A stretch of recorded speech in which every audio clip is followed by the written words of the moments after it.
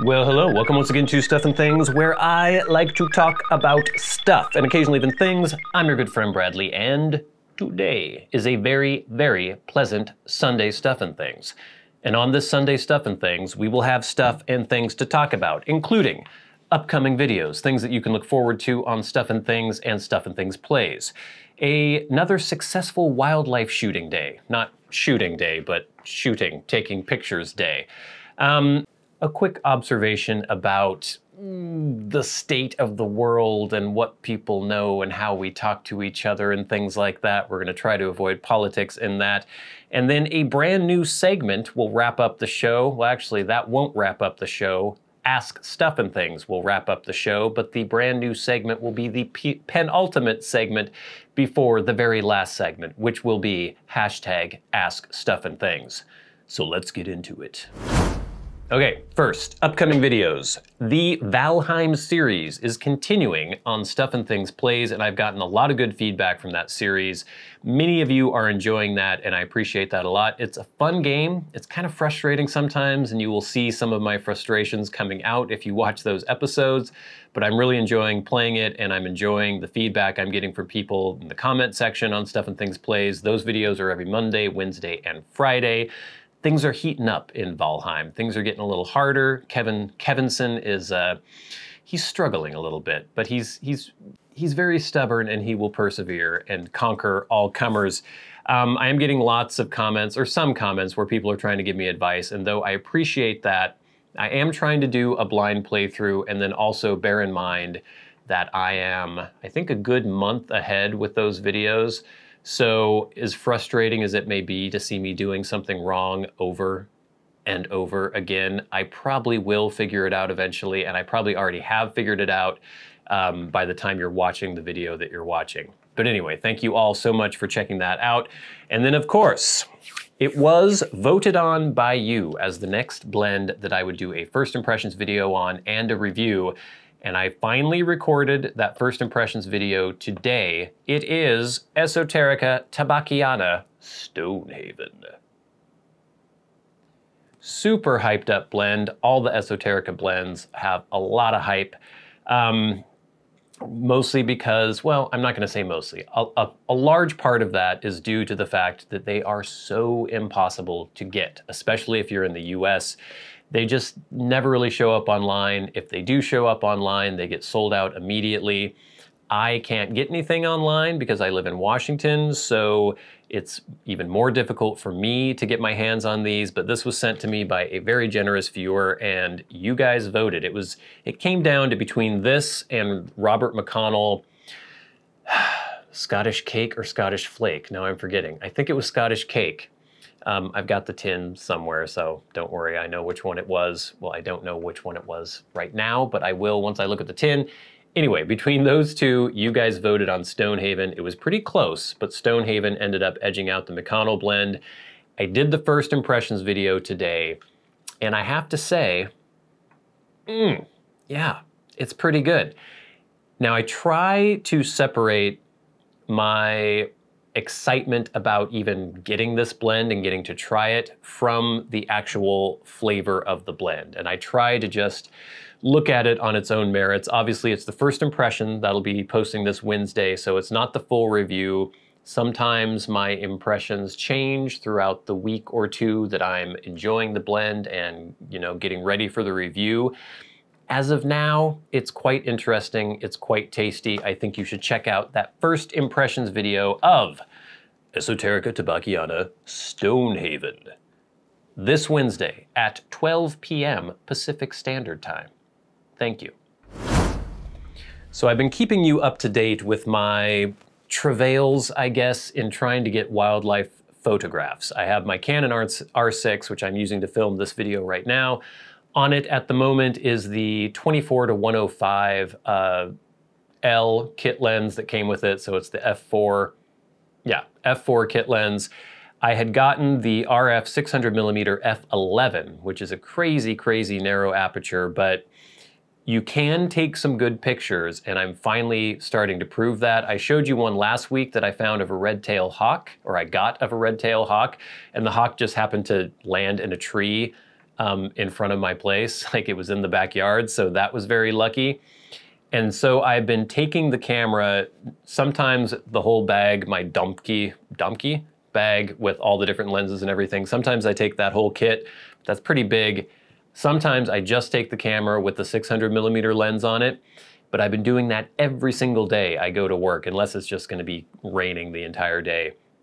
And I'm getting lucky. I'm actually getting some good opportunities, and it just goes to show you have to have your camera with you. If you wanna take pictures, obviously you've got to have the camera because you never know when the opportunity will rise. And case in point, I think it was Tuesday of last week. I showed up at work. Um, we're working out in a place that's kind of close to the water, north of here, north of Bellingham. And I got out, and I think I was already doing some stuff. And my brother, who works with me as well, he was like, "What's what's that over there?"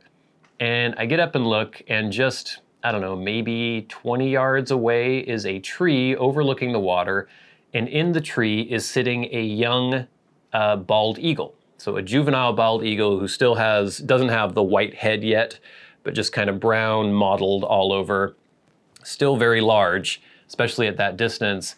And in the same tree was a crow.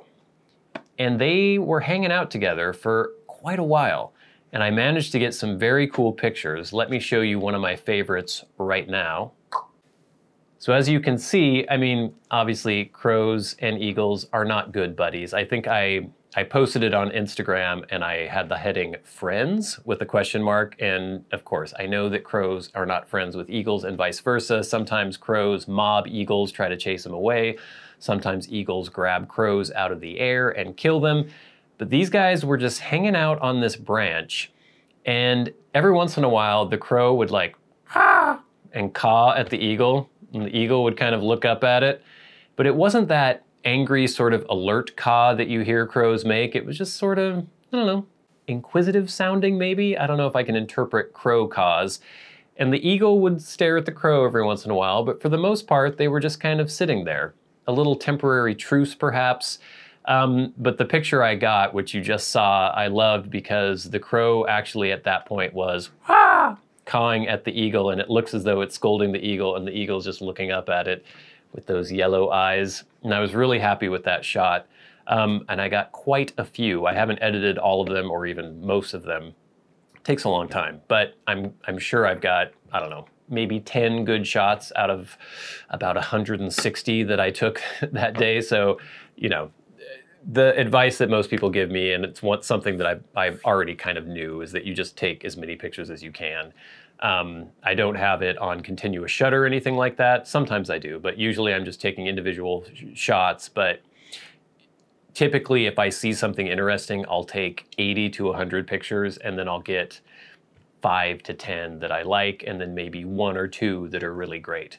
So, anyway, I was quite pleased by that picture. I have some other, I, I found some wild rabbits, got some pictures of them, um, just all sorts of good stuff going on. And this is just in kind of a residential area. It's overlooking the water, but it's not out in the middle of the woods or anything like that. So, I'm hoping that I can take some more excursions soon where I'm actually just trying to take pictures, but it seems that that always fails when I'm actually going out to get pictures. I rarely actually get anything that's good. So I'm just gonna keep bringing my camera with me, and if the opportunity arises, I will snap the pictures that I can. A little sip of coffee here. Mmm. Okay. Now, the next topic is something that was inspired by the fact that I saw a news story about polling in the United States. And it was basically just trying to ask people what they thought of other people who did not share their political beliefs. Now, we are not getting into politics here. We don't want to have cantankerous debates in the comment section below.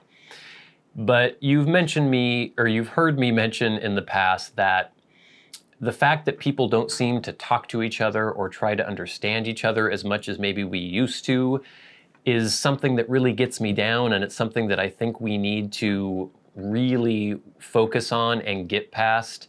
Everything is so binary, everything is so contentious, it seems, all the time. And this news story, I'm not going to link it or anything, but it it really brought this home to me, where basically they were polling Democrats, polling Republicans, and asking what the other side thought of different issues. And people were so far off. Democrats thought that Republicans thought certain things about certain hot button issues, but when you polled the, the Republicans, they didn't necessarily think the things that the Democrats thought they thought, and vice versa with the Republicans and the Democrats.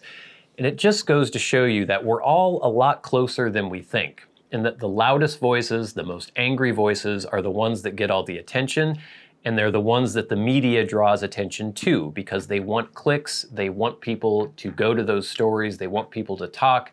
On social media, it's the same. Well, they don't want people to talk, they want people to react and get angry because anger is an emotion that they can monetize. And it's the same with social media. If you're you have your feed on social media, it is catered to you and it is catered to push your buttons. So it wants to portray the other side. We shouldn't be on sides, by the way, but it wants to portray the other side as crazy maniacs who are trying to destroy the world. And so everyone is seeing these things that are geared towards making them angry. and it gets reactions out of people. And it serves to dehumanize the people who you live with, your neighbors. And I don't like it. And I wish that we could just completely unplug from social media. I wish that that was a just a trend that would sweep the country and the world. I don't know if that's ever going to happen. But this is just my plea for all of you out there. And I know most of you are very, very reasonable, very cool people, but just try to cut out that noise, try to cut out social media as much as you can, and please bear in mind that the people with whom you may disagree politically are not necessarily the freaks and the monsters that the media and that social media tries to portray them as. We're a lot closer than we think. We need to talk to each other. We need to start trying to understand each other better. That's all. And now it's time for a brand new segment, which may or may not actually be a recurring segment on the Sunday Stuff and Things, and that is Snack Attack. Okay, that works, that works. So last week I mentioned, oh, we got some weird stuff going on here. Keep trying that, make sure we're still recording. That's good. Last week I mentioned that I was having a horrible time finding the garden vegetable Philadelphia cream cheese and I discovered a snack that I absolutely loved, which is very, very simple, and that is taking a Triscuit, dipping it in the garden vegetable cream cheese, and eating it, or putting it in your mouth, masticating it, swallowing it, then digesting it. It's quite delicious, it's quite lovely, and for about a month and a half, the garden vegetable cream cheese had been unavailable in my local supermarkets. But today, we have Philadelphia cream cheese uh, does it even say it on there? No, it does not. Philadelphia cream cheese, garden vegetable. This is the good stuff. This is the real deal. I have a paper towel right here. Let me unfold. We will place it down on the table. I have a fresh, unopened box of Triscuits. For those of you in the rest of the world, you may or may not know what Triscuits are. They are a cracket. A cracket? the Kraken! Release the Kraken! They are a cracker. It is a 100% whole grain wheat Triscuit original, made with sea salt. I think these are available in the UK. I'm not totally sure. Um, let's read the back of the box. Grown with care. Our white winter wheat starts its journey in the thumb of Michigan, where generations of family farmers grow and harvest the wheat with care and consideration, making it primed for the Triscuit crackers you love. Top it with whipped cream. Or no, top it with whipped cream cheese and heirloom tomatoes. Uh, well, we do have some cream cheese, no heirloom tomatoes. Um, obviously, this is probably filled with preservatives and way too much salt and all that good stuff. They try to make it seem as though it's like farm fresh, all natural ingredients. It's not. I'm sure it's filled with chemicals. In fact, let me see. Chemicals, chemicals. Uh, where are the actual ingredients? Oh, here we go. Whole grain wheat, canola oil, sea salt. That's it. Contains wheat. That would be shocking if that's all that's actually in here. It has sodium 160 milligrams. What is uh, serving is six crackers. So in six crackers, you have 160 milligrams of salt. Eh, all right. One serving gives you 11% of your dietary fiber. So these aren't horrible. There's zero sugar. Eh, not bad. Actually, not too bad. Sorry, Triscuits, for doubting you. But I just want to show you this delicious, delicious snack. Here is a Triscuit. So it's like a little, I don't know, waffled cracker um, made of whole wheat. By themselves, I'm not a huge fan. Let me demonstrate.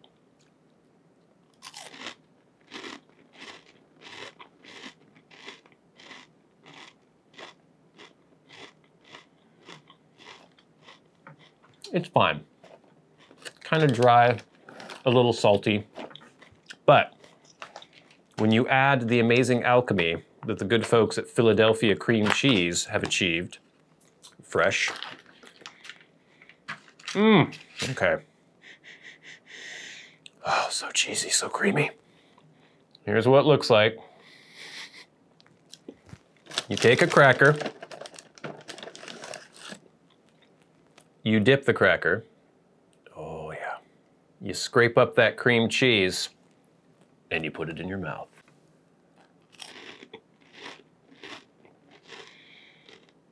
Mmm. Yeah, that's good.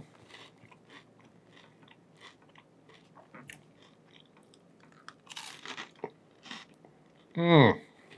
Mm-hmm. So simple. So delicious. That's a good one. Very dry though.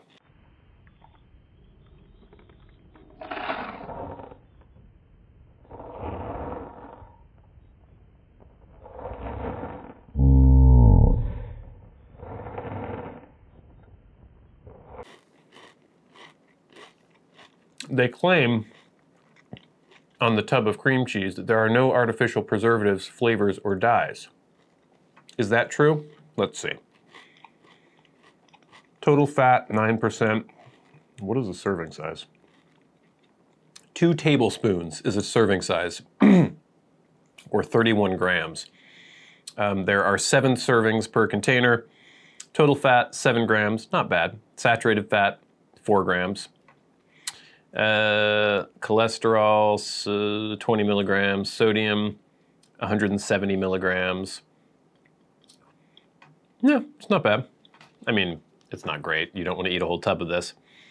Uh, but yeah, it's it's pasteurized milk, it's cream, it's it's all that good stuff, and all the bad stuff too that makes it taste so good. Let me just take one more.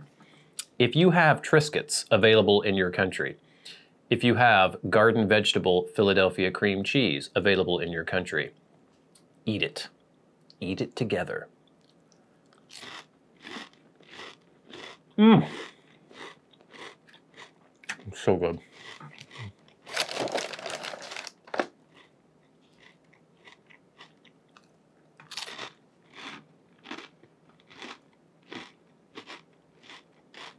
Hopefully none of you have mesothelioma.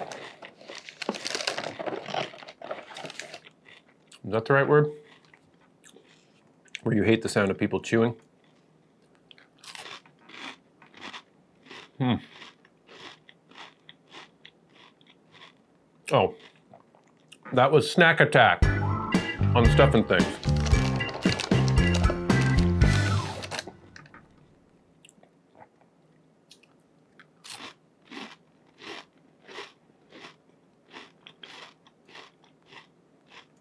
A little coffee with that.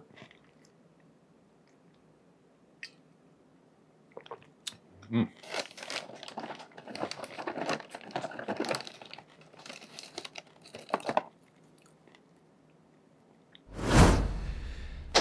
Gang. and now it's time for hashtag Ask Stuff and Things. And that is where you ask questions of me and I try to answer them on the Sunday Stuff and Things. Tweet at SAT Bradley with the hashtag Ask Stuff and Things. Leave comments on YouTube videos. Ask questions via Patreon if you are a Patreon supporter. And I will try to get to your question in a week or so. Uh, we have several questions here, not a lot. We only have three. We have one from Antonio Rico at Boni Tony. This is via Twitter, uh, Boni Tony01. Uh, Tony says, Hey, Tony. Hey, Bradley. If you could only smoke one of your pipes for the rest of your life, which one would you pick? Mm, that's a tough one. And I have so many amazing pipes now. So many more than I ever thought I had, I would have. I have several Dunhills, I have several Castellos, I have that Corallo de Mare that I was just using for the uh, first impressions video of Stonehaven. It's like choosing between your children. It's Sophie's choice. Um, I don't think I could pick just one. All my Dunhills are amazing. I don't know that any one of them is better than any of the others. Same goes for my Castellos. Um, this Corallo de Mare is amazing. It stands up there with all of those. I can't decide. It's too hard. There are too many good pipes that I own to pick one of them. But thank you for the question. Still chewing the old uh, Triscuits. Wash it down. Next, from Tyler Brubaker. Hey, Tyler. At Tyler Brubaker 20, Tyler says, Hey Bradley, hope you're doing well. I know that you enjoy cigars, but you're not as into them as pipes. Would you say that you could smoke just one kind of cigar without bothering to try others? Um, I could easily just pick a. What are they called again? Uh, uh Padron. Padron Natural 2000, the 2000 Natural, or the Maduro, Maduro, uh, Maduro. Padron 2000 Natural or Maduro. Love them. I think they're fantastic. I've had a fair amount of other kinds of cigars, but I think they're just great. And I could, they're relatively inexpensive. I actually now I can't ever get them. Um, I guess I could have my little brother send some to me from Texas or something if he got some online. But uh, yeah, I love them. They're great. Next, from YouTube, Mark in Rhode Island says, um, and this is in relation to the HH Pure Virginia review. Mark says, Do you find that cadence makes a difference? I have to sip on this to get the flavors right. Uh, yes. I find that especially with Virginia blends or straight Virginia blends, and often with flakes, that you don't want to get it too hot. You don't want it burning too hot and too uh, you just don't want a giant conflagration in your pipe. You want to slow down a little bit, and it seems like the heat and the steam that can develop when you're smoking it too hot can really kill some of the flavor, typically. Um, and then we have a more of a comment, some feedback from last week's Sunday Stuff and Things. This is from Epic 1981, and Epic says, Nobody, absolutely nobody, cares about your video games. Get smart.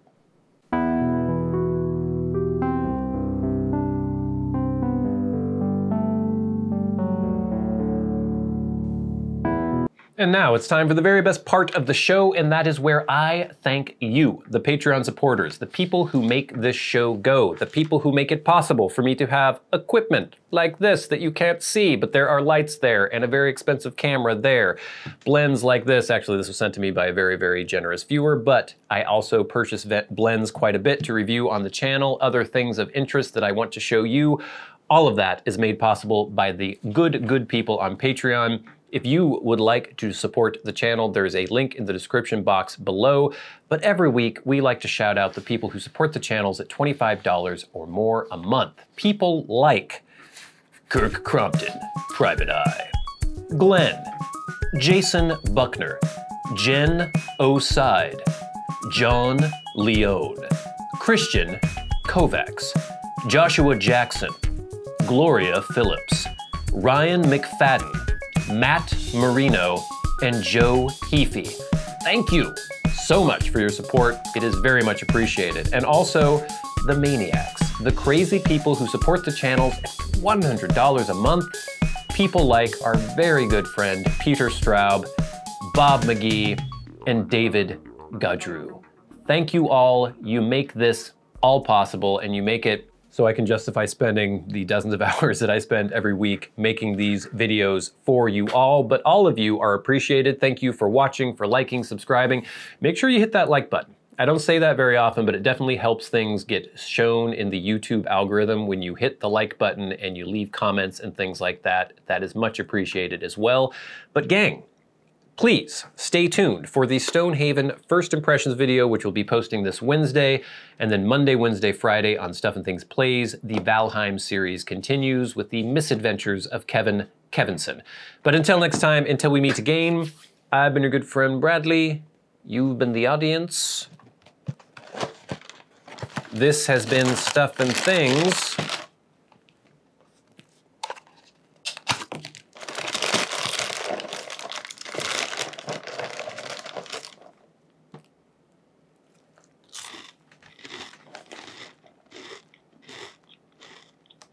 I'll see you later.